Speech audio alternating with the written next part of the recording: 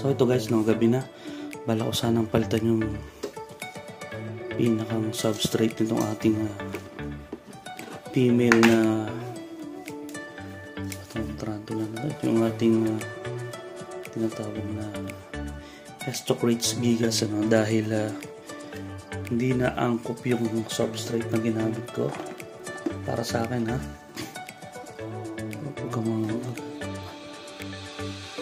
ito yun? ayun dito siya medyo malaki na siya. Kung estimate natin siguro nasa 5 inches 5.5 takpan natin ano? Tama ba? so itatapon ko muna tong mga lupa na to no? Kasi kung mapapansin nyo dun sa environment na meron siya sa Africa eh hindi naman ganito ka-dry ano So, ang hirap i-maintain ng humidity kapag yung buhang, yung substrate ay ganito. Napansin. Diba? Kaya, dapat araw-araw tayo mag-misting pag ganyan. So, eh, busy naman tayo, no? So, hindi natin magagawa yan. Kaya ito na lang, palitan natin ng lupa talaga, no? Okay, wait lang, antayin ako. Itatapon ko lang sa labas to. So, ito, lagyan na natin ng lupa, no? yung lupa na talagang angkop para sa kanya. Wala tayong pang ano? Gabi na kasi no? Medyo namamalat yung boses ko. Gabi na kasi. Yan yan lang natin. So, ang lupa talaga to guys no? ito yung nabibili sa mga nagka-garden may nadaan ano kanina. Sa tanong tinanong ko muna kung may halong chemical sabi wala daw. Kasi may pagkagamit sabi may pagkagamit kasi ako kaya sabi ko kailangan ko ng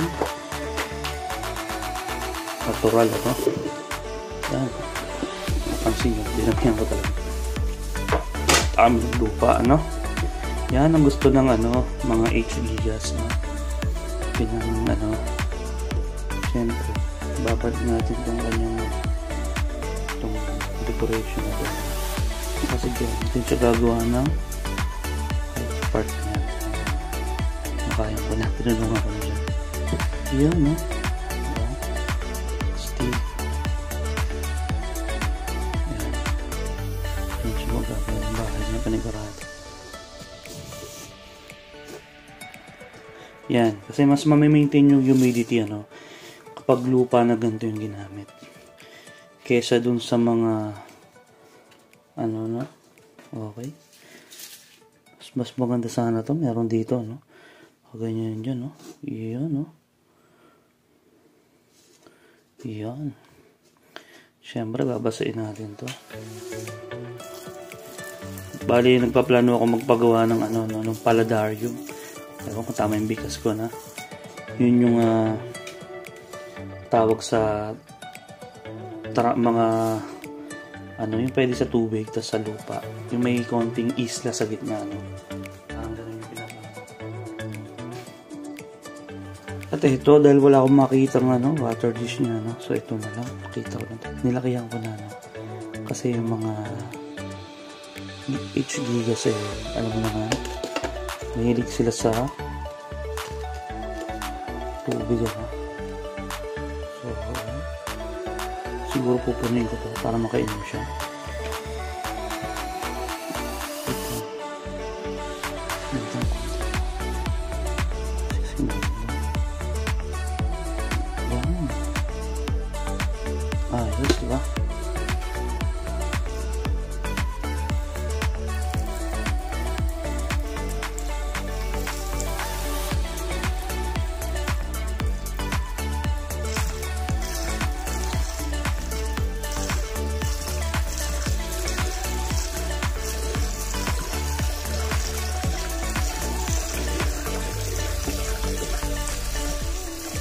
Tapos basahin natin yung part na yan.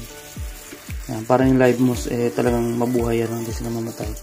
Kung gusto niya laging yun. So ano pa naman ano? Huwag na natin patagalin. Ibalik na natin yung ating uh, H gigas dahil uh, ayokong na-stress siya dito sa maliit na lagayan na to. So, eto na. sana magustuhan niya, no? Sana eh...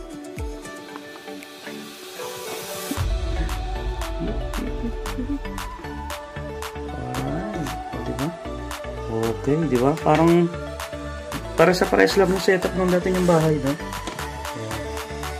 Kaya hindi siya bago, no? Kasi yung pa rin. So, hindi natin binago. Basta yung pinagtan lang natin na yung substrate. Tapos naglagay tayo ng uh, live moss doon, ano? Para ma-maintain natin yung uh, humidity. So, takpan na natin dahil uh, maglilinis pa tayo dahil nagkalat tayo. Ano?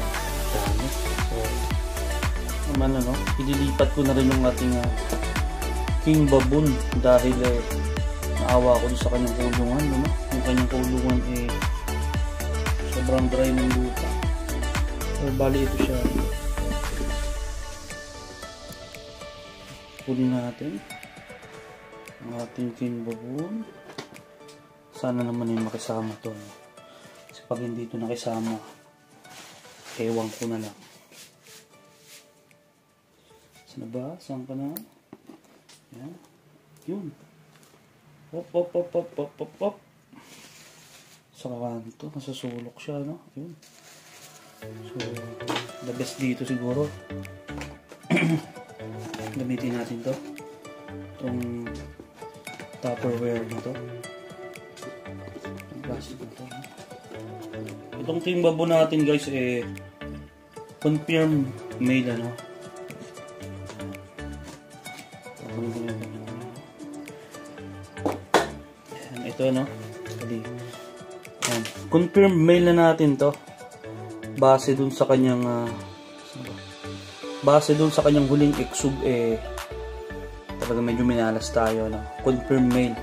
Pero maganda rin namang alagaan itong uh, mga king baboon dahil alam niyo naman na napakakunat nito. So, matagal din yung lifespan ng mga male kahit lalaki sila siguro tingin ko abot din ng mga limang taon ano? Kasi bago sila mag mag uh, ma-reach yung adult ano talagang uh, bubuno ng ilang taon.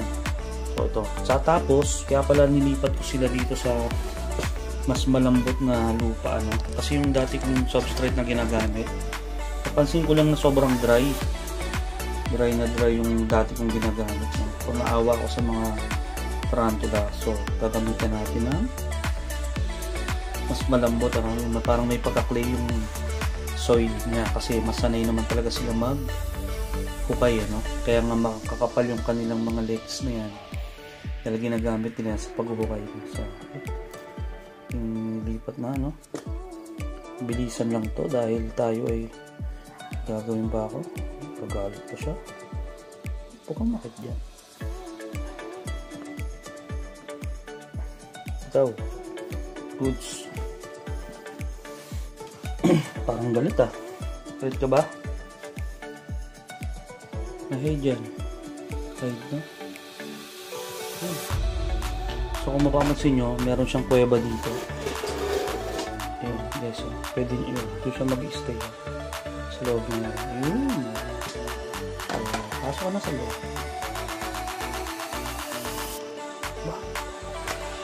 kaya nga sinasabi ko ano medyo nakawala na sa bisyo gusto ko mangyari sa kanya pumasok siya doon sa loob no? kabakan ko katingin ko na yan yan yung aking plano no? pumasok siya dyan sa loob. Sana mabuhay talaga itong ating mga live news no? yun so salamat nga pala sa inyong panonood yun siguro mabilis, mabilis na mabilis na kami gagawin pa tayo Patapos dito maglilinis pa ako nitong kwarto, no? Medyo makalat na. Alright.